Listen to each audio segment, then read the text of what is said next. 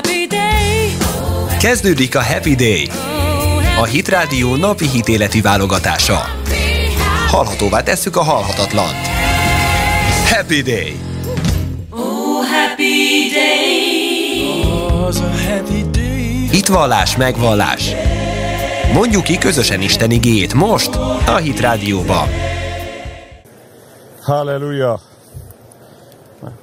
Hiszem, hogy Jézus Krisztus tegnap, ma és mindörökké ugyanaz.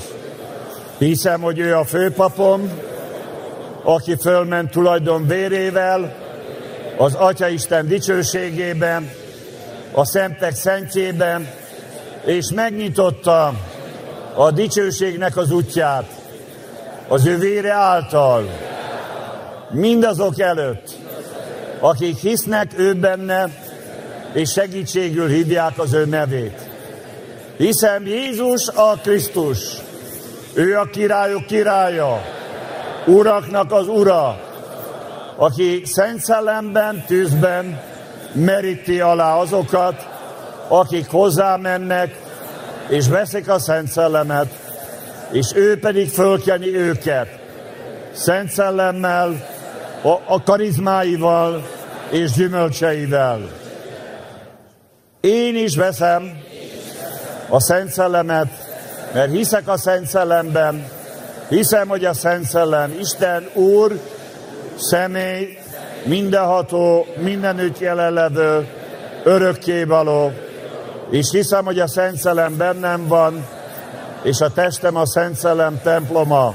És a mai napon is veszek erőt, mert eljött rám a Szent Szellem, hogy még hatékonyabb, gyümölcsözőbb tanulja legyek a názeretinek, aki meghalt mindannyiunkért, és föltámadott a halálból, hogy Istennek az igazságát hitáltal átadja, akik segítségül hívják a nevét.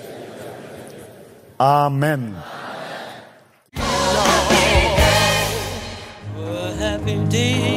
Olvasd velünk a Bibliát ma is! Következik a Szentírás egyszerű fordítása Diószegi Dávid tolmácsolásában. Krónikák második könyve 28. rész Áház 20 éves korában lett király, és 16 évig uralkodott Jeruzsálemben. Nem követte ősének, Dávid királynak példáját. Nem azt tette, ami az örökkévaló megítélése szerint helyes.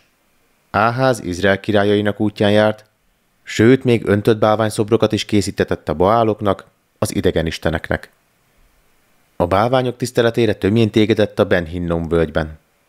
Még saját fiait is képes volt áldozatul megégetni azoknak a népeknek az utálatos szokása szerint, amelyeket az örökkévaló kiűzött erről a földről Izrael népe elől.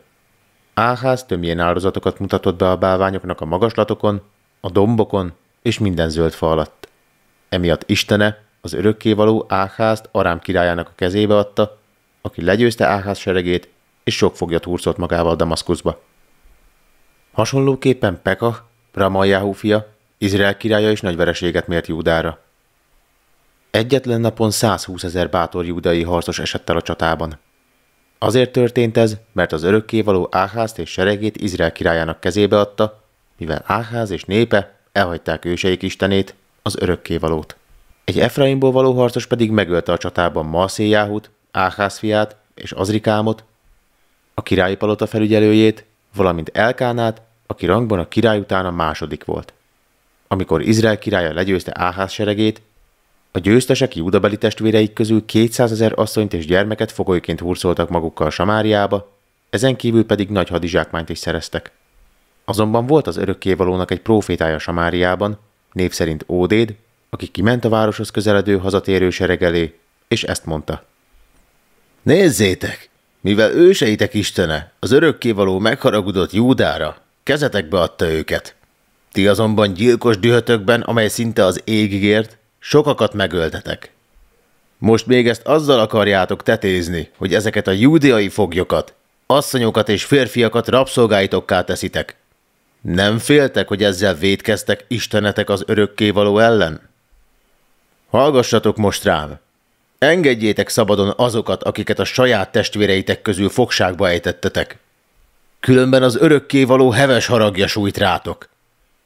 Akkor Efraim törzséből néhány főember szembeszállt a hazatérő izraeli hadsereggel.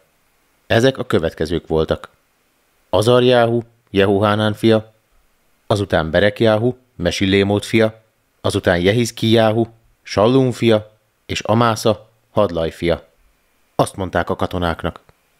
Ne hozzátok ide a fogjaitokat, mert anélkül is elég sok bűn terhel már bennünket. Ha mégis megtennétek, azzal tovább növelnétek bűneinket.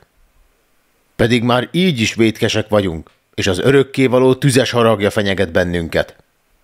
Akkor Izrael serege szabadon engedte a Júdából hozott foglyokat, és a zsákmánnyal együtt a főemberek és az összegyűlt sokaságra bízták őket.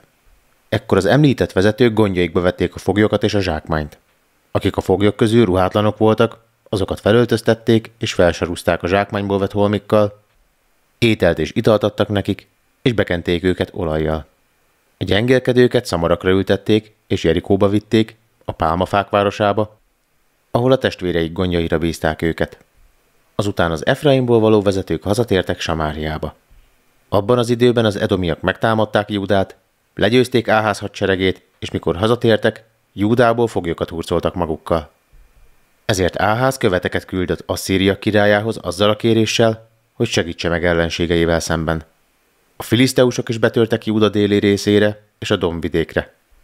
Megtámadták az ottani városokat, és elfoglalták Bécsemest, Ajjálónt, Gedérótot, Szókót, Timmát, Gomzót és ezeknek falvait. Le is telepettek az elfoglalt területeken. Az örökkévaló megalázta Júdát Áhász király miatt, aki megalázta Júdát, és súlyosan védkezett az örökkévaló ellen. Ezért Tiglat-Pileser, a Szíria királya Júda ellen támad ahelyett, hogy segítette volna. Pedig Áház kihozta az örökkévaló templomából a kincseket, és összegyűjtött mindent, amit csak tudott a királyi palotából és a főemberektől, és mindezt a Szíria királyának adta, aki azonban ennek ellenére sem segített rajta. Áház még a nagybajban sem fordult az örökkévalóhoz, hanem még inkább eltávolodott tőle. Azoknak az ideganisteneknek mutatott be áldozatokat, akiket az arámok Damaszkuszban tiszteltek, és akik Áházra vereséget mértek. Áház így gondolkozott. Mivel az arám királyokat megsegítették isteneik, én is ezeknek az isteneknek áldozom. Hát, ha engem is megsegítenek. Pedig valójában éppen ezek az idegenistenek okozták Áház és egész Izrael vesztét. Áház tehát kihozta az örökkévaló templomából a felszerelést és az eszközöket, azután ezeket összetörte, és szétvágta a templom ajtaját, és a kapukat bezárta. Ugyanakkor Jeruzsálemben szinte minden utcasarkon oltárokat készítetett, amelyeket ő maga használt. Hasonlóképpen Júda minden városában is magaslatokat emelt, ahol tömjén áldozatokat mutatott be az idegenisteneknek. Így haragította magára őseinek istenét, az örökkévalót. Áház egyéb tetteit és viselt dolgait elejétől végig megírták a Júda és Izrael királyainak könyvében. Azután Áház is meghalt, mint minden őse, és Jeruzsálemben temették el, de nem a királyok sírkamrájában. Utána fia, Ezékiás követte a trónon. 29. rész Ezékiás 25 éves volt, amikor trónra lépett, és 29 évig uralkodott Jeruzsálemben. Anyját Abijának hívták, aki Zekarjáhu leánya volt. Ezékiás király az örökkévaló tetszése szerint uralkodott, ahhoz hasonlóan, ahogyan őse, Dávid király is tette. Uralkodásának első évében, az első hónapban kinyitotta az örökkévaló templomának kapuit, és kijavította azokat. Azután összehívta a papokat és a lévitákat a templomtól keletre lévő udvarban, és ezt mondta nekik. Hallgassatok rám, léviták! Készüljetek fel a szolgálatotokra, és szenteljétek meg magatokat. Tisztítsátok meg a templomot. Hordjatok ki a szent helyről minden utálatos bálványt és tisztátalan dolgot. És szenteljétek meg a templomot is, őseitek istenének, az örökkévalónak házát. Elődeink védkeztek, és azt tették, amit Istenünk az örökkévaló gonosznak tart. Elhagyták őt, elfordították arcukat az örökkévaló lakóhelyétől, hátat fordítottak neki, bezárták a templom kapuját, kioltották a szentében a mécseseket, nem égettek illatos tömjént, sem égő áldozatokat a szent helyen Izrael istenének. Emiatt haragudott meg az örökkévaló Júdára és Jeruzsálemre. Emiatt büntetett meg bennünket. Ezért lettünk rémületes és megdöbbentő példává más népek számára. Emiatt gúnyolnak bennünket. Mindezt magatok is jól tudjátok, és saját szemetekkel láthatjátok, hiszen az apák a harcban estek el, feleségeiket és fiaikat pedig rabszolgának hurcolták el. Most azonban elhatároztam, hogy az örökkévalóval, Izrael istenével szövetséget kötök, hogy fordítsa el rólunk haragját. Fiaim, most hát ne legyetek felelőtlenek, hiszen maga az örökkévaló választott ki titeket, hogy jelenlétében álljatok, szolgáljátok őt, hogy valóban az ő szolgái legyetek, és jó illatú tömjént áldozzatok neki. Ez a népsora azoknak a lévitáknak, akik hallgattak a király szavára, és hozzáláttak a munkákhoz. A kehátiak közül Mahat, a Mászai fia, és Jóel, az Arjáhu fia, azután a Meráriak közül Kis, Abdi fia, és Azarjáhu, Jehellelel fia, azután a Gersóniak közül Joách, Zimmá fia, és Éden, Joách fia, azután Elicáfán fiai közül Simri és Jeiel, azután Ászáf fiai közül Zekarjáhu és Mattajáhu, azután Hémán fiai közül Jehiel és Simei, azután Jedutun fiai közül Semajá és Uzziel. Ezek összegyűjtötték a rokonaikat, azután valamennyien megszentelték magukat. Majd a király parancsa szerint, amely megegyezett az örökkévaló szavával, nekifogtak, hogy megtisztítsák az örökkévaló házát. A papok bementek az örökkévaló háza belsejébe, hogy megtisztítsák azt. Kivittek onnan az örökkévaló háza udvarában minden tisztátalan dolgot, amit bent találtak. A léviták pedig mindezt elhordták a kidrompatak völgyébe. Az első hónap első napján kezdték el a kitisztítás és a megszentelés munkáját, és kívülről befelé haladva a nyolcadik napon jutottak el a templom bejárati részéhez, az oszlopcsarnokhoz. Azután nyolc napon át a templom épületében végezték ugyanezt a munkát. Az első hónap 16. napján fejezték be az örökkévaló háza minden részének megtisztítását és megszentelését. Akkor Ezékiás király elé álltak, és jelentették neki. Teljesen megtisztítottuk az örökkévaló házának minden részét, az égő áldozatok oltárát, a hozzátartozó eszközöket, a kenyerek asztalát és annak eszközeit is. Amikor Áhász király hűtlen lett az örökkévalóhoz, félrehányta a templomi eszközöket. Most azonban ezeket is megtisztítottuk, megszenteltük és a helyükre tettük. Ott vannak az örökkévaló oltára előtt. Másnapkor a reggel Ezékiás király összegyűjtötte a városi vezetőket, és együtt felmentek az örökkévaló templomához. Áldozati állatokat is vittek magukkal. Bikákat, kosokat, bárányokat és bakokat, mindegyikből hetet. Ezékiás király megparancsolta a papoknak, Áron leszármazottjainak, hogy áldozzák fel ezeket az állatokat az örökkévaló oltárán bűnért való áldozatú Júda királyságáért, a szentély megtisztításáért és Júda népéért. Akkor a papok levágták a bikákat, kosokat, bárányokat, és felfogták a vérüket. Majd a vért az oltára hintették. Azután a hétvétek áldozatra szánt bakot oda vezették a király és az összegyűlt főemberek elé, akik rátették a kezüket a bakok fejére. A papok ezután levágták a bakokat, és azoknak vérével bűnért való áldozatot mutattak be az oltáron Istennek. A király parancsolta nekik, hogy égő áldozatot és bűnért való áldozatot mutassanak be egész Izrael népéért. Ezékiás király parancsára a léviták odaálltak a helyükre az örökkévaló templomában a hangszereikkel. Cintányérokkal, hárfákkal, lantokkal, úgy, ahogyan az Dávid király, Gát próféta és Nátán próféta még régen elrendelte. A dicséretnek ez a rendje az örökkévaló profitáink keresztül valósult meg, de valójában az örökkévalótól származott. A léviták tehát a helyükre álltak, a kezükben Dávid király hangszereivel, és a papok is kezükbe vették a trombitákat. Akkor Ezékiás király parancsot adott, hogy kezdjék el az égő áldozat bemutatását az oltáron. Ugyanekkor a papok megfújták a trombitákat, és a léviták is elkezdték az örökkévaló dicséretét. Énekeltek, és a hangszereiken játszottak. Ezeket a hangszereket még Dávid, Izrael királya készítette a templomban való használatra. Az egész gyülekezet imádta az örökkévalót. Az énekesek énekeltek, a papok fújták a trombitákat, egészen addig, amíg az égő áldozat bemutatását befejezték. Ezután a király és mindenki más is leborult a földre, és imádta az örökkévalót. Majd Ezékiás király és a vezetők mondták a lévitáknak, hogy Dávid király és Ászáf próféta énekeivel dicsérjék az örökkévalót. A léviták pedig nagy örömmel és szívvel lélekkel dicsérték az örökkévalót, azután ők is leborultak, és imádták az örökkévalót. Azután Ezékiás ezt mondta. Most már oda szenteltétek magatokat az örökkévalónak. Jöjjetek hát, és hozzátok be az örökkévaló házába a véres áldozatokat és hála áldozatokat. Az emberek behozták ezeket az áldozatokat, sőt, akinek a szíve készséges volt, még égő áldozatra való állatokat is hozott. A nép ennyi égő áldozatra szánt állatot hozott. 70 bikát, 100 kost és 200 bárányt. Mindezeket feláldozták az örökkévalónak égő áldozatul. Ezen kívül még az örökkévalónak szenteltek 600 ökröt és 3000 juhot is. A papok azonban túl kevesen voltak ennyi állat levágásához és megnyúzásához. Ezért rokonaik, a többi léviták segítettek nekik mindaddig, amíg a többi pap is megszentelte magát. A léviták ugyanis komolyabban vették, hogy megszenteljék magukat, mint a papok.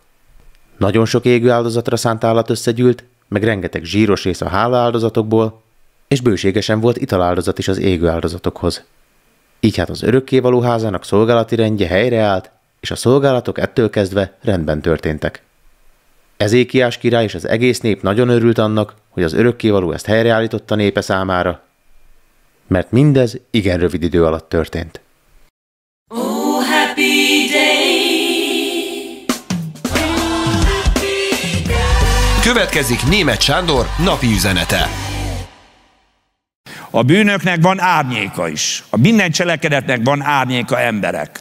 Még az apádnak és a nagyszüleidnek is, cselekedeteinek is van olyan árnyéka, amely rád vetülhet. Hadd emlékeztesselek tégedet az tíz parancsolatra, ahol azt mondja a Biblia, hogyha idegen Istent imádsz, bálvány imádó volt a nagyszüleid, annak a tevékenysége egy olyan árnyékot hozott létre, amely árnyék harmad, negyed izéglen tart. Az árnyék alatt meg mit kell érteni? Egy sötét szellemi falat, egy sötét szellemi felhőt, ami akadályoz téged abban, hogy az Úrral való közösséget, kapcsolatot a igazságon, békességen, örömön alapuljon. És ezért ezeket az árnyékokat is, ezeket a sötét szellemi befolyásokat is azt akarja Isten, hogy megsemmisüljön az életedben, ki tudjál jönni belőle, hogy teljesen más szellemi millióbe kerüljél, mint amilyen családba megszülettél. Minden családnak van szellemi milliója. Minden nemzetnek, társadalomnak, városnak van szellemi milliója. És azt akarja Isten, hogy mi az Isten országának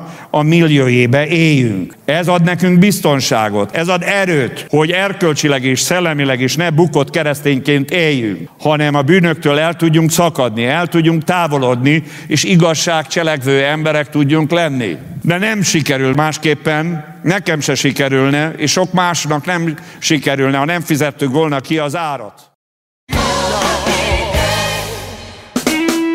Hangos könyv. Válogatás a karizmatikus klasszikus irodalom legjavából. Hangos könyv. A város központjában volt egy nagy csarnok, a Memorial Auditorium, ami sokkal kényelmesebb lenne, mint a sátor. Sűrűnek ígérkeznek a következő hónapok, Démosz, szólított meg Floyd Hawkins lelkész, amikor meglátott a kocsin felé sétálni. Biztosan sokat lesz majd távol az irodától. Őszintén remélem, hogy jól megy az üzlet. Jobban nem is mehetne Floyd, mosolyogtam rá megnyugtatóan. Jobban nem is mehetne. Egy bútorozatlan, favázas házat béreltem a G Streeten, csupán öt háztömnyire a Memorial Auditoriumtól. A bebútorozás nem jelentett problémát. Amikor eljött az idő, egyszerűen felpakoltam az egyik nagy dízelmotoros széna szállítóra mindazt, amire szükségünk volt. Székeket, asztalokat, ágyakat. És a mosógépet is, emlékeztetett Róz. Nem győzném nélküle a pelenkákat mosni. A ház ahhoz is elég nagy volt, hogy az evangélisták megszállhassanak nálunk, ahogy otthon Downey-ban. Ám most minden hétre más prédikátort kértünk felszolgálatra. Öt hetes rendezvényt terveztünk, Rózzal már egy héttel korábban ott akartunk lenni, utána pedig általában tíz napra volt még szükség a rendezvény teljes lezárásához. Arra az elhatározásra jutottunk, hogy nem jelenthet gondot a kilenc éves Gerinek, ha abban a néhány hétben Fresnóban jár iskolába. Viszont az akkor nyolcadik osztályos Richarddal kapcsolatban azt láttuk jobbnak, ha nem hiányozna az órákról. Ez egy kielégítő megoldást jelentett arra a helyzetre, amivel mindenki tisztában volt. Mégsem mondta ki. Nem tehettük meg, hogy mindannyian elmegyünk, és egyedül hagyjuk apámat. Édesanyám halála óta apám magánya szinte kézzel fogható volt.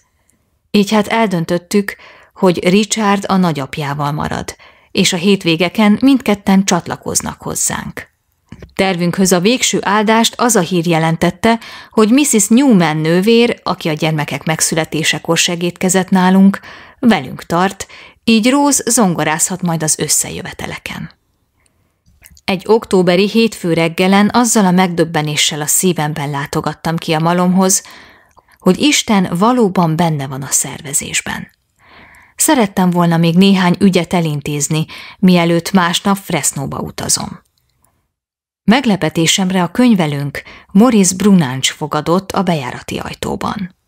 Az arca pontosan olyan színű volt, mint a finom liszt, ami a malomban mindenre rátelepszik. Megtörtént Démosz, mondta néhány papírlapot tartva a kezében.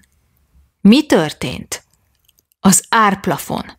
A csikágói árutősde nélküle nyitott ki ma reggel. Feloldották. Ez nagyszerű, Morris. Ez volt, amire... De Brunáncs arc kifejezését látva az volt az érzésem, jobb, ha nem folytatom.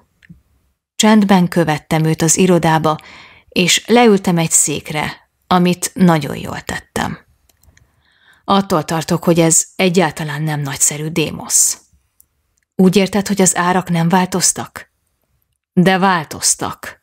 Leestek. Azzal ránézett a kezében lévő papírra.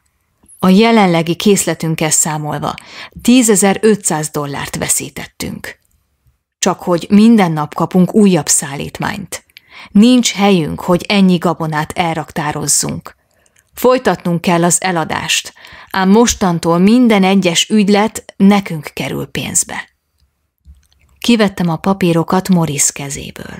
Az árutősde szabályzata egy maximumban határozza meg, hogy mekkora lehet az árucsökkenés egy adott időszakon belül. A mai nyitást követő néhány percen belül, ahogy láttam, a gabona ára ezzel a maximális mértékkel csökkent. És nekünk természetesen azt a legmagasabb árat kellett továbbra is fizetnünk, amire hónapokkal korábban leszerződtünk. Ennek az árucsökkenésnek még nincs vége, Démosz. Ha a piac tovább esik, te akár csődbe is mehetsz. Kábultan hagytam el a malmot. Ez őrültség. Ez képtelenség. És mégis megtörtént. Ráadásul épp akkor gördült be egy újabb takarmányszállító tehervagon a felhajtóra, miközben az autómhoz baktattam. Buskomoran számoltam ki, hány dollárt veszítek csak ezen az egy szállítmányon. Másnap kedden reggel felpakoltam Róz mosógépét néhány más bútorral együtt a szénakocsira, és útjára bocsátottam. Amikor visszaértem a házba, megcsörrent a telefon. Morris Brunáncs volt az. Újra megtörtént Démosz, közölte.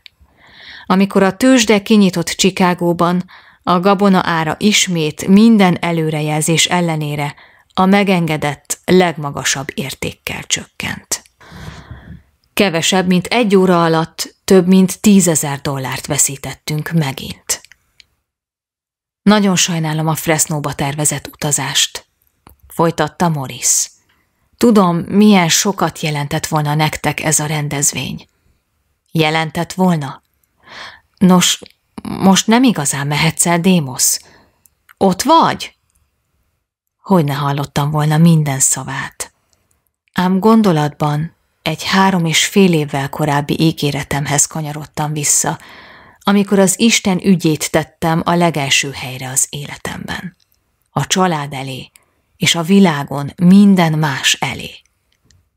Folytatnom kell, Morris, válaszoltam. Nézd, nagyon különös ez a nagy árcsökkenés. Minden egyenesbe fog jönni. Telefonon tartsuk a kapcsolatot. Ám a Fresnóba vezető úton egész végig egy halk hang azt suttogta a kerekek nyikorgása mellett. Csődbe fogsz menni. El fogod veszíteni a malmot. Csődbe fogsz menni. Délután a G Street-i házban éppen Steve kiságyát állítottam fel, amikor egy kiáltást hallottam a konyhából, ahol Rose és Newman nővér az edényeket pakolták. Az órám! jaj veszékelt Rose a létra tetejéről. Nincs a csuklómon! Beviharzottam a konyhába, és Rózra néztem, visszaemlékezve arra az estére, amikor átsétáltam Gabriellék nappalián, és a legjobb tudásomat beleadva küszködtem, hogy rákapcsoljam a csuklójára. Biztos, hogy rajtad volt? Persze, hogy biztos. Emlékszem, hogy ránéztem, amikor kiszálltunk a kocsiból. Így hát darabokra szedtük a konyhát. Még az autóhoz is kimentem, és végignéztem a járdát egészen a házig. Rose emlékezett, hogy Geri szobájában is kipakolt néhány dolgot, de még mielőtt ott is elkezdtünk volna kutakodni, Newman nővér áthívott mindkettőnket a hálószobába, ahol Steve-et öltöztette pizsamába. Nézzék a homlokát, mondta. Nem hiszem, hogy ma önmaga volt. Egész úton fészkelődött a kocsiban. Megmérem a lázát. Mindhárman csendben álltunk abban az idegen kis szobában, ahogy a lázmérőt a kék ernyős lámpa felé tartotta. Kikerekedtek a szemei. Közel negyven és fél fokos. Az egyik fresznói lelkésztől megkaptuk egy orvos nevét, ám amikor kiérkezett, ugyanazt tudta csak megerősíteni, amit Newman nővér már megállapított. Azt javasolta, folytassuk az alkoholos borogatást, amit Newman nővér már el is kezdett alkalmazni. Szivacsos mosdatás, jegelés, aspirin. Egyik sem vitte le a lázát. Reggelre Steve tekintete üvegessé vált, a bőre tapinthatóan kiszáradt. Újra eljött az orvos, és írt egy rakás receptet. Könyörögtem Róznak, feküdjön le egy kicsit, de úgy tűnt, hogy ezt meg sem hallja. Miután még estére sem javult Steve állapota, hazatelefonáltam, hogy megkérjem édesapámat és a gyülekezetet, hogy imádkozzanak. Egyúttal arról is tudomást szereztem, hogy a gabona ára egy újabb katasztrofális napot élt meg a tőzsdén. Róz végül a kimerültségtől elaludt, és Newman felváltva virasztottunk a kiságynál. Oh, happy day! Best of Hit Radio. Válogatás spirituális műsorainkból. Best of Hit Radio. Nagyon nagy szeretettel köszöntöm itt a Pásztor Válaszolban a kedves házaspárt, akik ma válaszolni fognak a kérdésekre. Jobb Gergely és felesége Viki, sziasztok! Szia Debi, és mi is köszöntjük a kedves rádióhallgatókat! Fel, elkezdjük az első kérdéssel, mert vegyes témákban érkeztek, de akkor az első az lehet, hogy a, a Gergelynek szólna majd. Először is nagyon örültem, írja a kedves hallgató, hogy lefordították a Bétel számot, a King of My Heartot. Nagyon jó lett. És az lenne a kérdésem, hogy hogyan lehet megújulni a dicséretben? Hogyan lehet elkerülni, hogy úgymond megunja az ember a sokszor játszott dicséreteket? Tudom, hogy a Szent Szellem mindig meg tudja újítani egy-egy dalt, de van-e esetleg ennek valami taktikája? Köszönöm. Köszönöm. Én azt szoktam mondani erre, hogy általában érdemes a dalokat úgy énekelni, hogy az ember tudatosítja, hogy mit énekel. Tehát gondolja át a szöveget, és és átgondolva, ahogy, ahogy szokták mondani, és megrágva, meg őrölve, tehát így gondolkozni rajta a dalok szövegén, és, és akkor az úr meg tudja újítani uh-huh. a dal szövegét, és és sokkal jobban át is tudja érezni az ember. Tehát ért, amikor érti az ember a szöveget, és tud vele azonosulni, akkor sokkal nagyobb lelkesedéssel uh-huh. tudja énekelni. Nyilván, hogyha hogyha már ez sem segít, akkor, akkor érdemes talán azt csinálni, hogy egy dicséret alatt, amikor jön az a dal mondjuk, amit már az ember kicsit un, akkor, akkor csak egyszerűen átadja magát a, az uh-huh. úr jelenlétének, és, és nem feltétlen kell, hogy énekeljen, csak lehet akár nyelveken is énekelni közbe. Tehát így vannak ilyen ilyen taktikák, ahogy a, a kedves kérdező mondja. Tehát erre ilyen általános recept nincs, hogy ki, kinek uh-huh. hogy újul meg a dicséret. Általában, hogyha egy dalt már nagyon sokszor éneklünk tényleg, és, és, és évek óta énekeljük, akkor valóban maga a dal is meg szokott tudni fáradni. Ilyen esetben egy picit azt szoktuk, hogy félretesszük a dalt, tehát nem énekeljük, akár hónapokig, vagy olyan is van, hogy évekig, és amikor újra előveszi az ember a dalt a dicséretben, akkor, akkor kap egy, egy, egy újabb lendületet, és sokkal nagyobb hát intenzitással és, és lelkesedéssel tudja ezeket a dalokat énekelni az ember. De van annak célja, hogyha egy dalt mondjuk sokszor játszotok direkt? Hát új daloknál szoktuk általában uh-huh. ezt alkalmazni, hogy, hogy amíg nem tanulják meg a testvérek, akkor nyilván többször kell énekelni, hogy, hogy, hogy mindenkinek rögzüljön, de utána célszerű azért úgy beosztani a dalokat, hogy ne kerüljön nagyon sűrűn pont emiatt, azok miatt rá a választás, hogy az emberek ne unják meg, ne, ne legyen elcsépelt maga a dicséret, hanem, hanem legyen friss, legyen újszerű, és és általában az a tapasztalat, hogy egy dalt olyan, olyan hát talán lehet azt mondani, hogy három hetente minimum. Uh-huh. Tehát egy három hetet, két-három hetet érdemes várni, még újra előjön az, az a dal. Egyébként egy dalnak a jellege attól is függ, hogy mondjuk a dicséretnek melyik szakaszában van, uh-huh. vagy mi, melyik dal van előtte. Tehát számtalan variációs lehetőség van egy dalnak a eléneklésére, és, és mondjuk, hogyha egy, egy dal egy gyors dal után következik, más a jellege, mint hogyha mondjuk egy lassabb dal után következik ugyanaz a dal. Tehát a, a maga dalnak a jellege változik meg, illetve tud érdekesebbé válni. Uh-huh. Hát reméljük, hogy majd ennek a fényében fogja a kedves hallgató innentől kezdve a dicséreteket hallgatni, hogy tényleg valóságosan újabb értelmet nyerjen a számára. Akkor itt egy következő kérdés. Gyakran azt hallani, hogy a fiatal keresztény élet rengeteg lemondással jár. Te, illetve hát ti, akik a gyülekezetben nőttetek fel, hogyan látjátok ezt a kérdést? Hát ugye lemondás, meg kell... Volt neked ilyen a személyes életedben, hogy valamiről le kellett mondanod, mert keresztényként nőttél fel?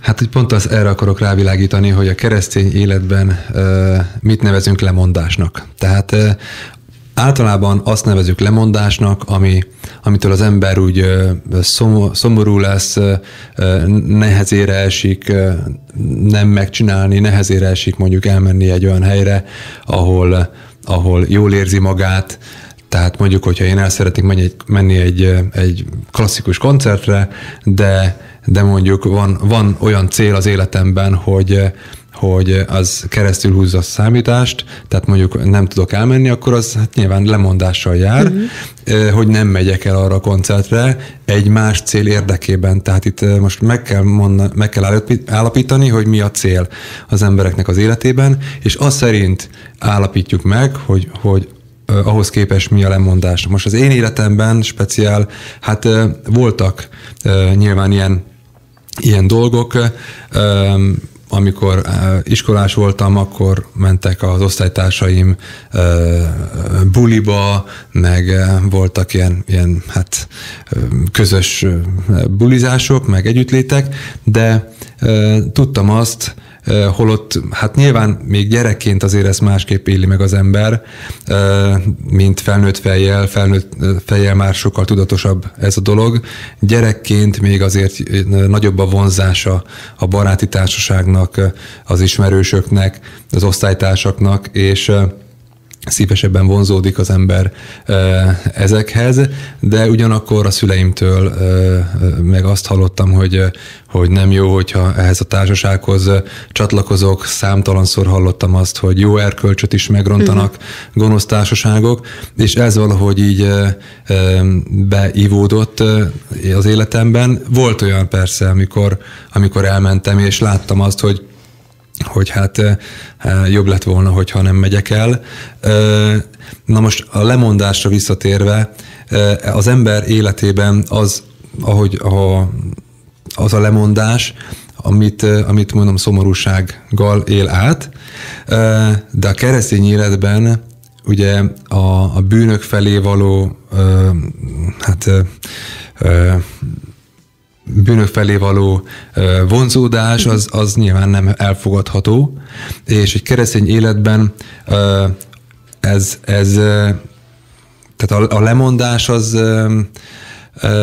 nem, nem olyan fajta lemondás, mint a világban lemondás, uh-huh. mert mert mi keresztények vagyunk, tudjuk az isteni értékrendet, bibliai értékrend alapján élünk, és és számunkra az, hogy, hogy nem követünk el bűnöket, nem kerülünk olyan társaságokba, ami bennünket elválasztana az Istentől, ez nem lemondásként éljük meg, hanem az Úrhoz való ragaszkodásként, és ez, ezzel mi nem leszünk kevesebbek, hogy, hogy lemondunk bizonyos dolgokról, annak érdekében, hogy az üdvösségünket, az Úrral való kapcsolatunkat megtartsuk, erősítsük, hanem ez, ez bennünket arra ösztönöz, hogy igenis ne menjünk el olyan társaságokba, ne kövessünk el olyan bűnöket, ne kövessünk el bűnöket, olyan cselekedeteket, amelyek távol tartanak bennünket az Istentől. Ezért mi ezt nem lemondásként éljük hmm. meg, hanem, hanem, hanem szabad védelem, szabad döntés és hmm. védelem. Viki, te hogy élted ezt meg, vagy hogy élted ezt át? Mielőtt válaszolnék, először a hallgatókat szeretném én is sok szeretettel köszönteni. Eljutottunk idáig is, bocsánat. Egyébként én is abban látom ennek a ö, lényegét, hogy ugye mi, mi, mi okoz számára a lemondást, tehát hogyha egy bűnről akar lemondani, ő, ő így éli meg, hogy egy olyan dologról, ami igazából nem jó, vagy pedig természetes, mindennapi élethez kapcsolódó dolgokról. Ugye ezt nem tudom, a kérdésből ez nem derül ki. De az jutott eszembe, hogy ugye a sportolók is, hogyha egy fiatal odaszállja magát arra, kitűzi, hogy például ő olimpiai bajnok szeretne lenni, vagy egy olimpián részt venni valamikor, hát rengeteg lemondással jár, napi két-három edzésen vesznek részt, és ezek a fiatalok, vagy ezek a gyerekek gyakran ugye magántanulók lesznek, egy rendkívül szűk közegben mozognak, nap mint nap, mert van egy célja, kitűzött egy célt maga elé, hogy ő például olimpikon lesz futásban, vagy labdarúgó, vagy stb. Tehát mondhatnék... És nagyon tudnak ragaszkodni ehhez így a van, célhoz. Így van, hát akkor mennyivel inkább nekünk keresztényeknek, amikor a célunk az üdvösség, az Isten dicsőségébe való bejutás a cél. Uh-huh.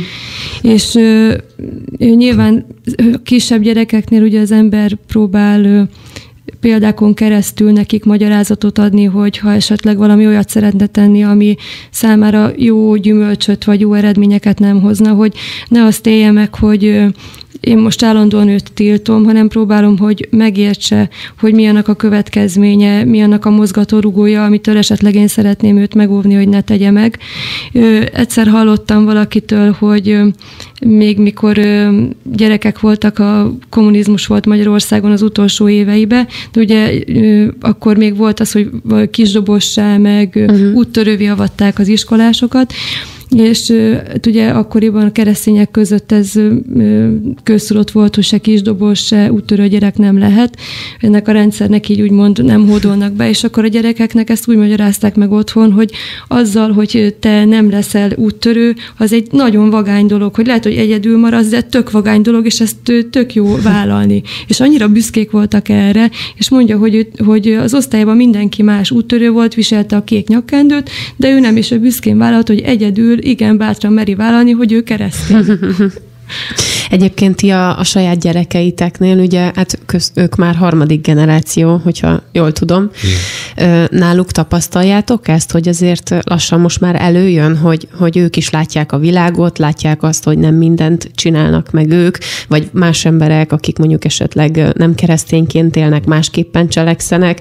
Tehát, hogy ezt itt tapasztaljátok náluk, vagy, vagy hogyan tudjátok? Mondtad, hogy próbálod megértetni velük, de hogyan? Hát ez mindig az adott helyzettől függ, hogy éppen mi az, ami ő, akkor aktuális kérés, uh-huh. vagy de az a helyzet, hogy ö, nyitottak is arra, tehát ö, szeretik ö, mindig megkérdezni a véleményünket. A nagyobbik fiunk ő most már 12 éves lesz, és ö, sosem úgy hoz döntést nagyobb dolgokban, hogy ne kérdezni meg a véleményünket, úgy ad erre. És Gergő is, én is igyekszünk azt elkerülni, hogy nem mondjuk arra rá valamire konkrétan, hogy már pedig nem. Mert uh-huh. a tiltással általában csak lázadást szül az ember, hosszú távon én szerintem nem kifizetődő, uh-huh. hanem ha meg is csinálja, akkor meg ugye ott van az, hogy megtapasztalja, megtanulja a saját bőrén hogy amit mondtam, az igazából tényleg úgy kellett volna csinálni, uh-huh. de úgy sokszor hagyni is kell, hogy úgymond a falig menjen, vagy neki ütközön Hú, a falnak. azért ezt szülőként nem lehet egyszerű Nem hagyni. egyszerű, de nyilván nem minden dologban, tehát ami nagyon komoly dolog, abban megpróbálok mindent megtenni, hogy lebeszéljem róla. Uh-huh. De olyan dolgokban, ami kétes a kimenetele, vagy érzem azt, hogy hogy nem jó, ha megteszi, de olyan nagy kártya okoz magának vele, uh-huh. de viszont tanul belőle, akkor meg lehet, hogy jobb engedni. Uh-huh.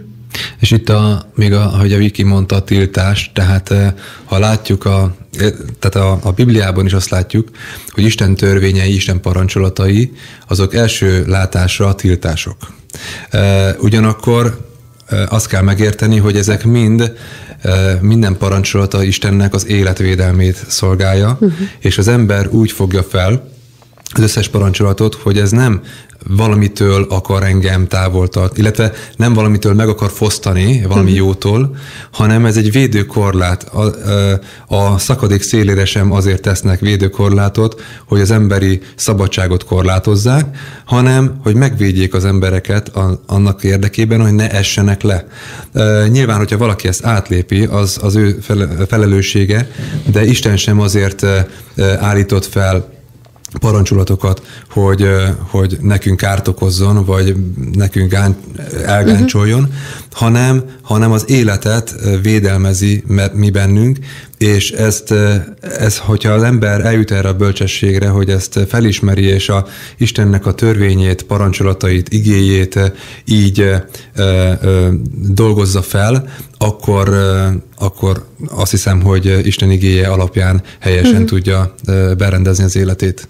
Meg érdekes, hogy ez talán egy bizalom, bizalom is, hogy bízik a, hát a gyermek mondjuk a szüleiben, Abszolút. vagy, vagy mi emberek Istenben, hogy, hogy amit a tesz, azt azért teszi, hogy megvédjen. Igen, igen. Tehát ez tényleg hozzá, vagy nézőpont kérdése, hogy melyik szemszögből közelítem meg. De látjátok, én is most így 20 éves fejjel gondolkodom el ezen, akkor nem annyira tetszett, hogy tiltottak igen, fiatalként, hát de hát nyilván. Azt mondták, hogy most még nem tudom, de később majd megértem. Hát most eljutok odáig, hogy kezdem megérteni. Következő kérdés az így hangzik. A régi keresztények, mikor megtértek, elhagyta, elhagyták a bűnös életüket, és megszentelődés útjára léptek. 17 éves fiatal vagyok, keresztények a szüleim, semmi durva bűnt nem követtem el, mégis úgy érzem, hogy nincs élő hitem, és nagyon vallásos módon járok a gyülekezetbe. Szerintem semmiben nem különbözök a katolikusoktól. Szeretném, hogy élő hitem legyen, de eddig bármit csinált, próbáltam, nem sikerült. Mit tanácsoltok? Hát ugye ez, ez egy ö, olyan dolog, hogy ö, ebben nem szabad ö, ö, szóval ki kell tartani. Uh-huh. Tehát ö, ö, azt tudom mondani, hogy ö, hogy Isten, Isten igéje igaz, és Isten mindenkihez akar szólni. Tehát Isten, Isten tiszteleteken az Isten igéje szól, ha nyitott szívvel hallgatja, egyszer csak lesz egy pont az életében, amikor, amikor úgy betalál az ige, hogyha tényleg nyitott szívvel hallgatja, hogy, hogy lesz egy személyes megtapasztalása ennek a fiatal kereszténynek, és azt szeretném még itt hangsúlyozni, hogy attól még, hogy semmi durva bűnt nem követett el, ezt, ezt egy kincsnek kell tartani. Tehát egy kereszténynek, keresztény fiatalnak az egy óriási nagy kincs, egy előny, egy, egy nagyon nagy lehetőség az, hogy hogy nem volt a világban, nem követett el olyan bűnöket, amelyek hát sok esetben halálos bűnök az Biblia szerint, és ezt nem kell szégyelni. Igazából Jézus Krisztus a legjobb példa erre, hiszen ő semmi bűnt nem követett el, és nem, nem azon siránkozott, hogy miért nem tudtam megtérni nagy mély bűnből. miért nem volt valami nagy katarzis az életemben? Igen, na majd erre hanem, hanem, hanem hirdette Isten igéjét. Neki az volt a bizonsága, hogy ő, ő volt Isten fia. És, és itt a Földön hirdette az, úr, a, a, az, az igét, és mm. tértek meg az emberek nyilván. Neki úgymond könnyű volt, de ez, ez mind, mind azok számára is hát egy, egy feladat, akik, akik úgy nőnek föl, hogy, hogy nem, nem voltak a világban, nem volt az életükben bálványimádás, paráznaság, házasságtörés, nem rontották el az életüket. Ez egy óriási nagy előny egy keresztény fiatal számára, és, és nagyon nagy kincs az, hogy olyan, olyan példákat lát az ember maga előtt, akár a szüleit, akár másokat, hogy tényleg Isten félelemben élik le az életüket, Isten félelemben cselekszenek, olyan módon élnek, hogy az bizonság mások számára, és ezt őrizni kell, és, és, és hát ezt, ezt a kincset, ezt ápolni kell, és, és igenis nem arról kell bizonság, nem, nem csak az a bizonságtevés, hogy ilyen és ilyen bűnből tértem meg, hanem az is óriási nagy bizonság, hogy az, az Isten megtartott engem tisztán, fe, szentül az ő jelenlétében, és a, a, azokról a, a jó dolgokról lehet beszélni az embereknek bizonságképpen, amit a Biblia leír, vagy másokkal eh, lehet esetleg példálózni, eh, de, de még egyszer mondom, ez egy óriási nagy kincs, és, és várni kell az Úrnak az érintését, hogy, hogy tudjon szólni hozzánk az Úr. Nektek volt a személyes életetekben egyébként ilyen dilemma? Hogy mondjuk ti is, én bevallom őszintén, nekem volt olyan, amikor láttam a nagy bizonyságokat, hogy a pont hát nekem a szüleim generációja az, akik ugye ilyen nagyon frissen megtértek akkor a gyülekezetbe, és mindenkinek volt valami személyes nagy megtapasztalás, a bizonyság, a kijelentése, és olyankor elgondolkodtam, hogy hát nekem még azért ilyen nem volt, és akkor, hogy most én ezt várjam-e, vagy nem. Nektek volt esetleg ilyen dilemma? Ugye én tinédzserként ismertem meg az urat. Nekem talán nem is ez jelentette a nagy dilemmát, hanem egy óriási nagy baráti társaságot hagytam ott úgymond a uh-huh. világban.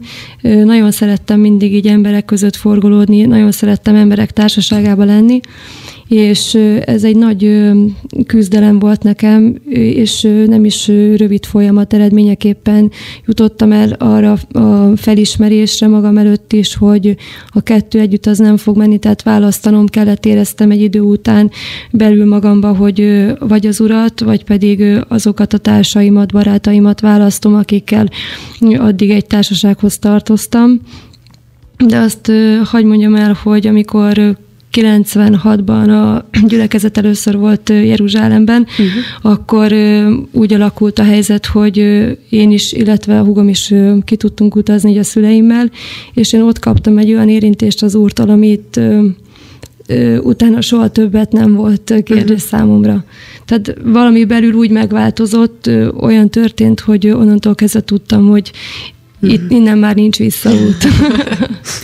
Nálam még, még az volt, hogy hogy én is sokszor kerestem azt, hogy, hogy az úr, úr mint egy lórugást hogy, hogy, hogy, hogy érintsen meg, és, és, és szerettem volna azt, a, azt az érintést, amit, amit látok embereken, hogy, hogy úgy elhasal meg, hátraesik meg ilyesmi, és valahogy nem jött. Uh-huh. És sokszor az embernek vannak ilyen saját elképzelései, hogy most az úr hogyan avatkozzon be az életébe. És és holott uh, igazából arról elfeledkezünk, hogy, hogy uh, és ez a szülőknek egy nagyon nagy felelőssége, és, és nagyon hálásak lehetünk a szüleinknek, hogyha ezt láttuk, hogy olyan értékrendet, egy bibliai értékrendet uh-huh. állítottak elénk, ami, ami nekünk a Biblia és a bibliai értékrend az természetes. Uh-huh. Tehát látjuk a világból megtért embereket, hogy évekig, évtizedekig kell nekik magyarázni, hogy, hogy mi Isten akarata, Isten terve egy bizonyos dolggal kapcsolatban, és ezt most nem nagy képűségből hmm. mondom meg, de tényleg az van, hogy sok területen mi egy olyan, olyan hát bibliai értékrendet kaptunk a szüleinktől, amit ami által ezek a, ezek a dolgok nekünk teljesen evidencia uh-huh. és mhm. természetes dolgok, és egy, egy óriási nagy dolog, hogy nem kell azon agyalnunk, hogy most bizonyos dolgot hogy, hogy akar az úr, vagy hogy nem akar, vagy mi az úr akarata, vagy, vagy hogy, hogyan kell ezt megcsinálni, hanem már eleve ö, ö, tudjuk, és, és ö, és hát mondom, ez egy óriási nagy kincs. És még egy dologot hozzáteszek, hogy Szóval nem cselekedetek által ö, uh-huh. kell ezt megszereznünk, az Úrnak az érintését, hanem hittel kell uh-huh. az Úrhoz folyamodni, és, és a hit pedig tudjuk azt, hogy nem egy, nem egy valami érzés vagy, vagy gondolat, hanem, hanem hittel ráállok ar, arra, hogy az Úr akar szólni hozzám, meg akarja érinteni a szívemet, és ha ezt elfogadom, és hittel megyek az Úrhoz, ha nem is érzem, akkor is tudom, hogy az Isten igéje igaz, ez megígérte számomra, és meg fog valósulni az életemben. Azt nem tudom, hogy mikor, de egyet tudok, hogy meg fog valósulni, és, és az Úr pedig hűséges, és ezt, ezt biztos, hogy hogy megadja számunkra. Meg igazából lehet, hogy ez az érzés, úgy, vagy hát idézőjelben érzés, ez folyamatosan ott van az ember életében, csak nem ismeri fel, mert mondjuk az első generációnak azért elég erős kontraszt volt a kettő között. Igen. Azért egy második, harmadik generációt már lehet, hogy kíséri ez, a, ez az érintés, úgymond az úrtól. Igen, meg, meg aki kér, ugye ez kap. Aki, aki keres, az talál, azt mondja az igés. Aki zörget, annak az úr megnyitja az ajtókat. Tehát álhatatosan, ha nem mindig nem is mindig könnyű, de folyamatosan kell keresni az urat, az úr jelenlétét, és biztos vagyok benne, hogy, hogy előbb-utóbb át fog törni, és meg fog mutatkozni az úrnak az ereje, hatalma. Így legyen. Két Igen. rövid megjegyzésem lett. Az egyik az, hogy az, hogy már keresi, szerintem az a kegyelem működésének a bizonyítéka az életén. Tehát, uh-huh. hogy mhm. van benne nyitottság és keresi, és ő, ő, őszintén Isten felé, hogy neki is most már személyes kapcsolat, személyes közösség kell az Úrral. Ez szerintem egy óriási dolog már. És a másik meg talán ö, lehet, hogy segítséget nyújthatna például az, hogyha vannak ö, ö, hitben erős, vagy jó keresztény barátai, ismerősei, hogy esetleg az ő bizonságukat meghallgatja, hogy ők hogy, ők hogy kaptak személyes érintést, és ezzel uh-huh. is erősödik a hite abban, hogy ez az ő életében is meg fog történni. Uh-huh. Uh-huh. Hát reméljük, hogy így lesz a kedves hallgató életében, és eljön az a pont, amikor úgy tényleg az Úr megérinti, és, és markánsan tudja utána őt szolgálni. Amen. Igen. Következő kérdés az úgy hangzik, ti mennyire jár, tartjátok a kapcsolatot a testvéreitekkel? Érdemes eltávolodni, vagy a családalapítás után is megmaradhat a jó kapcsolat? Válaszoljak én? Mind a ketten, hogyha kérhetem. A nagyobb családosok előnyben. Hát ugye mi hatan vagyunk testvérek, Igen. úgy nőttünk föl, hogy, hogy gyakorlatilag rengeteget voltunk együtt, sokat játszottunk. Nyilván gyerekként a testvérével teljesen más a kapcsolat, mint amikor már felnőttként átalakul. Tehát a kapcsolat jellege változik meg. Egy egy haveri viszonyból, vagy hát egy ilyen testvéri viszonyból inkább egy, egy megbecsült, hát tisztelettudó kapcsolat lesz, ugyanúgy, ahogy az apa gyereke kapcsolatból egy, egy ilyen, hát ilyen baráti uh-huh. kapcsolat jó esetben. Uh-huh. Nyilván most én el tudom mondani, hogy ez így van nálunk. Egy, egy ilyen kapcsolattá alakult át, tehát nem nem úgy tekintenek ránk a szüleink, hogy édes kisfiam, és akkor így, uh-huh. tehát, hanem, hanem tisztelettudóan, tényleg egy baráti és, és, és Egészséges távolságtartással. Uh-huh. Igen, igen. Tehát egy partner, partneri kapcsolat. Tehát, hogy egyenrangú felekként nézünk egymásra. Nyilván a tisztelet az továbbra is megvan teljes mértékben, de ez oda-vissza érvényes. Tehát ugyanígy ők is tisztelettel viszonyulnak felénk. A testvéreinkkel kapcsolatban pedig tehát, ahogy a Viki is mondta, egy, egy egy egészséges távolságtartás, ami nem jelent természetesen elutasítást, mert nagyon szívesen találkozunk uh-huh. velük, családjaikkal, és, és ez, ez mindig öröm számunkra, amikor főleg, főleg nagy, nagy család összejön, és, és hát több tucatan vagyunk ilyenkor. De ugyanakkor az is, az is jó, hogyha hogyha vége van ennek a családi találkozónak, ahogy a, a, egy zsidó mondás szokta mondani, mondani hogy két, dolog, két nagyon jó dolog van egy nagy szülő életében, amikor megjönnek az unokák, meg amikor elmennek. Tehát jó a nagy család, jó a, a közösség, de az is jó, hogyha utána mindenki megy a saját dolgára, és és végzi a, a, a maga dolgát. Itt a, még a család összejöveteleknél azért fontos tudatosítanunk, hogy vannak olyan családi erők, úgymond családi szellemek, amelyek a családfát így kísérik. Uh-huh. És attól, hogy mi megtértünk, attól ezek a, a családi erők, ők nem tértek meg, uh-huh hanem, hanem folyamatosan akarják a, a, a családot, a család befolyását érvényesíteni, illetve a családom, család fölötti befolyásukat érvényesíteni. Na most ezeket az erőket kell tudatosan nekünk főleg akkor, amikor így összejövünk, esetleg nagyobb,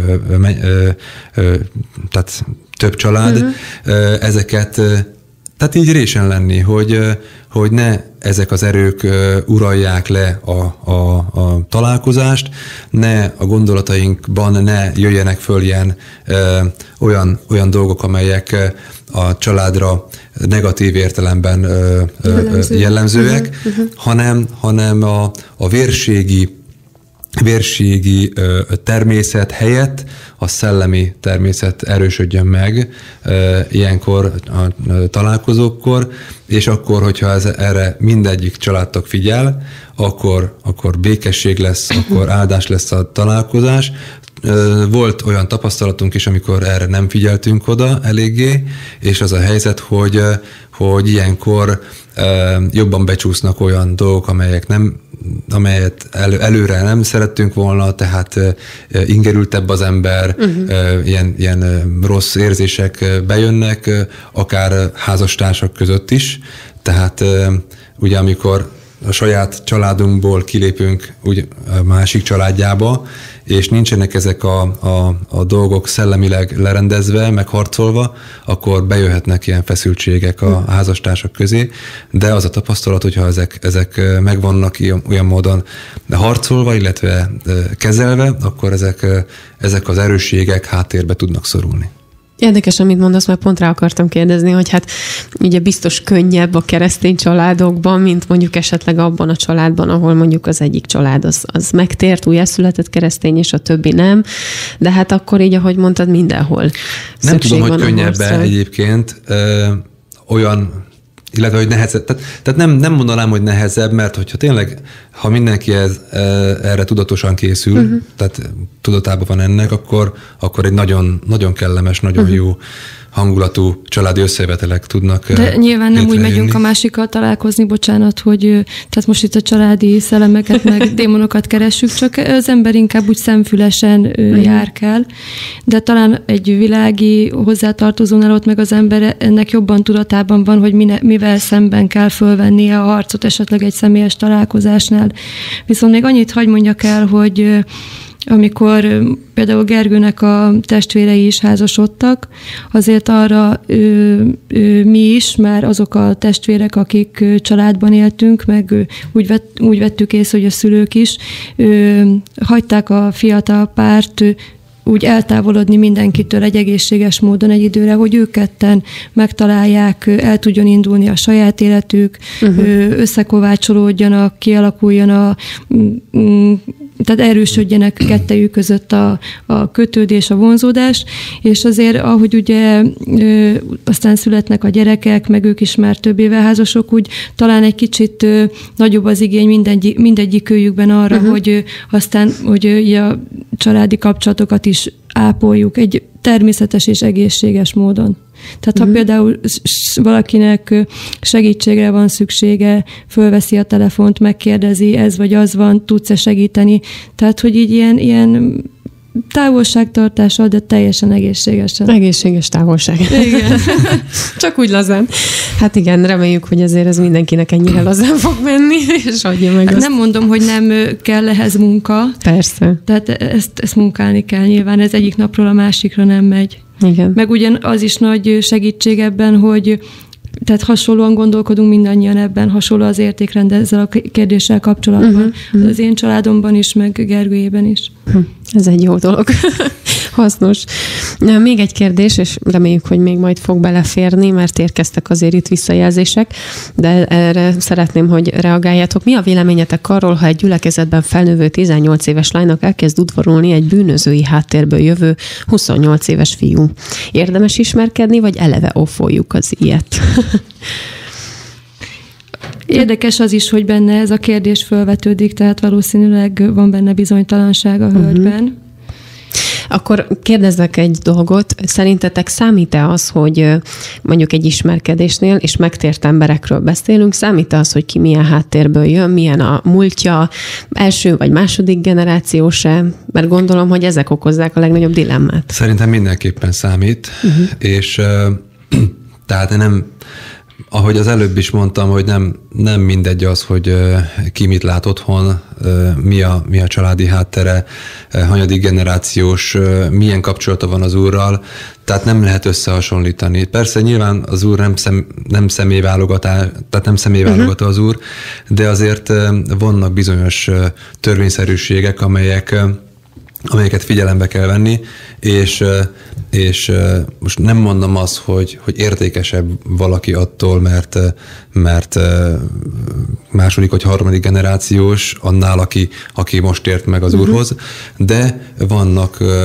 mondom, olyan, olyan dolgok, amik, amiket az ember le, le kell, hogy vetkőzön magáról. Tehát van egy folyamat, amíg az, a, az ember megszentelődik, megváltoztatja a gondolkozásmódját, kitisztulnak azok a, a, azok a dolgok, amelyek őt a világhoz kötötték az agyából, a szelleméből, lelkéből, és és most visszatérve a kérdésre, nem tudom, hogy tehát egy 18 éves hölgy, aki a gyülekezetben nőtt föl, ő úgy nőtt föl, én gondolom, hogy a szülei is vigyáztak rá, mint egy kincs. Uh-huh. Tehát egy gyöngyszem, aki, aki, akire vigyáztak, akit óvtak mindentől.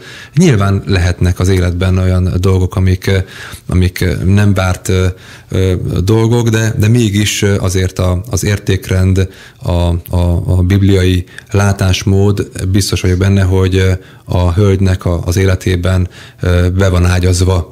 Na most egy, egy 28 éves fiú, aki bűnözői háttérből tért meg, Gondolom, hogy első generációs, tehát hiszen bűnöző. valószínű bűnöző volt.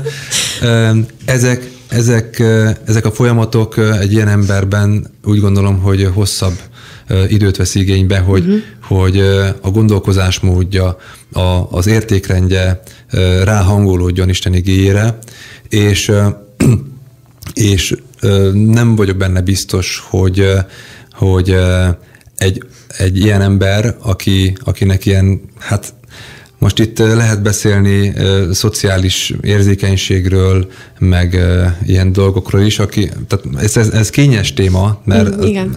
az úr meg tud változtatni egy pillanatról a másikra egy embert, de azért a tapasztalat azt mutatja, hogy, hogy egy két különböző hátterű embert sokkal nehezebb összehangolni egy házasságban, mint egy, egy hasonló értékrendet képviselő, hasonló hátterű embert.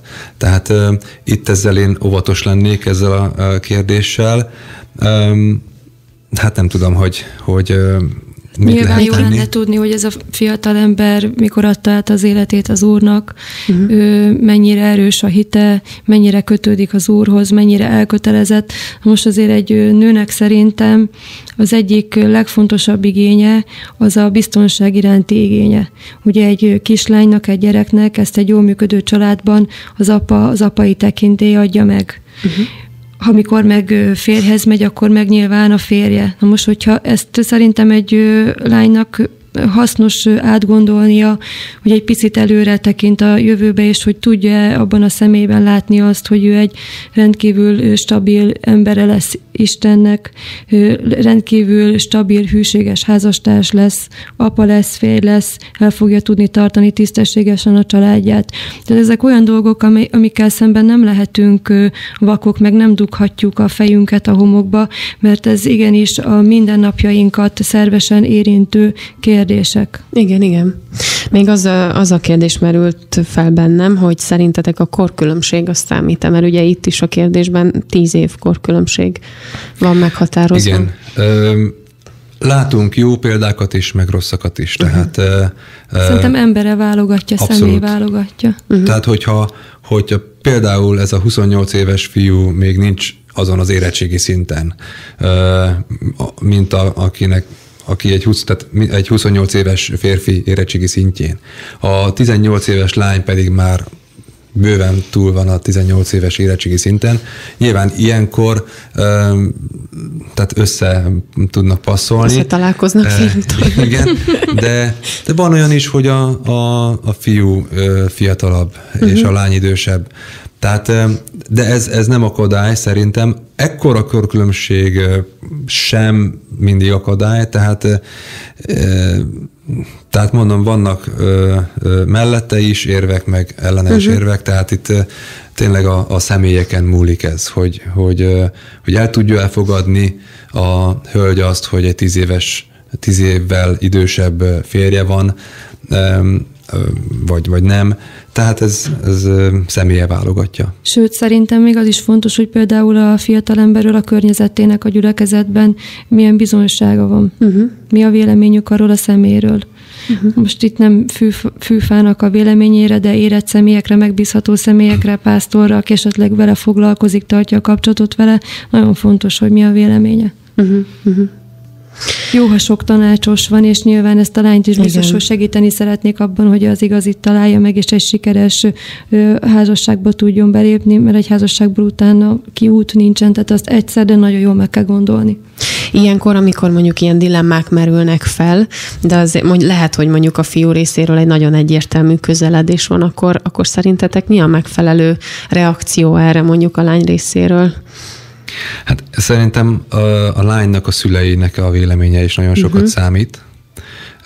Főleg ilyen korban, amikor 18 éves korban általában még otthon lakik a, uh-huh. a hölgy.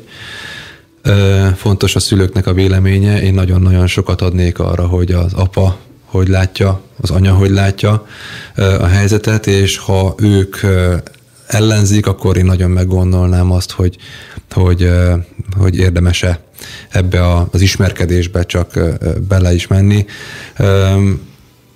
Ha, ha támogatják a szülők, nyilván akkor, akkor át lehet gondolni.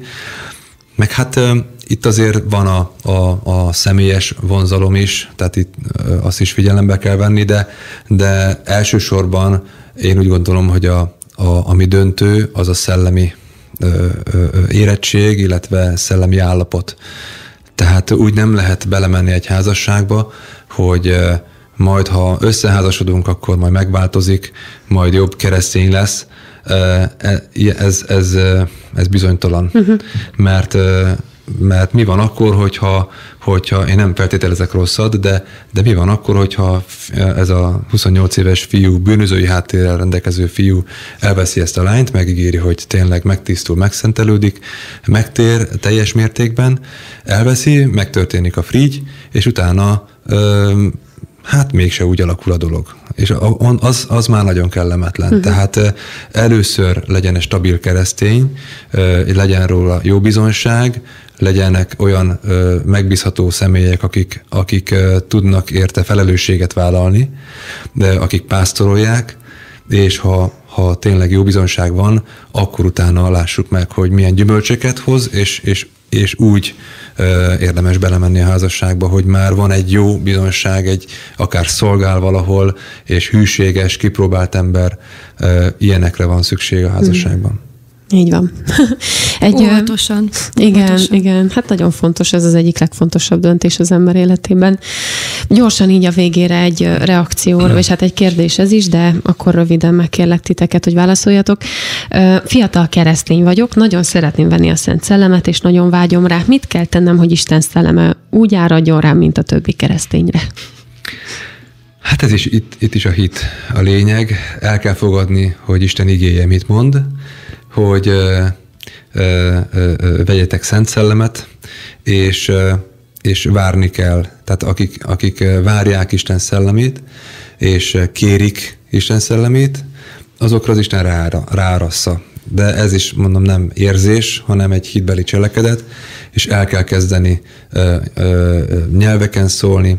Vannak ilyen összejövetelek egyébként, az Isten, uh-huh. ö, Isten tiszteletek, ahol, ahol külön van ima azokért, akik még nem vettek Szent Szellemet, érdemes ilyen összejöveteleken részt venni, és, és kérni esetleg segítséget is, akik tudnak imádkozni az emberért, hogy hogy tudja venni a Szent Szellemet, illetve segíteni őt abban, hogy, hogy a Szent Szelleme be tudjon uh-huh teljesedni, töltekezni, és ennek nyilván megvannak a gyümölcsei, nyelveken szólás, nyelveken éneklés, nagyon én nagyon szeretek akár nyelveken szólni, de énekelni is nyelveken, mert ez egy, ez egy plusz külön nagyszerű dolog. Viki? Hogy fiatal keresztény, uh-huh. akkor azért azt tisztázzuk, hogy meg kell, hogy legyen ugye a megtérése, a bűnvallása, aztán alá kell merítkezni vízben, tehát ezek alapvető a keresztény életnek az alaplépései, és szerintem ez az út vezet ahhoz, hogy utána Istennek a szellemét is venni tudja. Hm. Minden esetre kívánjuk a kedves hallgatónak, hogy ez minél hamarabb megtörténjen. Így van és mindenkinek reméljük, hogy sikerült válaszra találnia. Nagyon szépen köszönöm, hogy eljöttetek és segítettetek a kérdésekben. Reméljük, hogy jó gyümölcsöket fognak ezek a válaszok teremni. És Bizony a hallgatóknak megköszönjük szépen, hogy velünk tartottak ezen a mai középponton. Mi most itt elköszönünk, én Tice Debora voltam, és Váne Vódia volt a szerkesztőm, de következik a Csillagok háborúja, majdnem mást mondtam helyette, de érkezik Nagy Teodóra és Kulifai Máté, és ők fognak segíteni egy picit eligazodni az európai parlamenti választások előtti politikai hercehurcákban, úgyhogy hallgassátok azt is, mindenkinek nagyon szép délutánt kívánunk.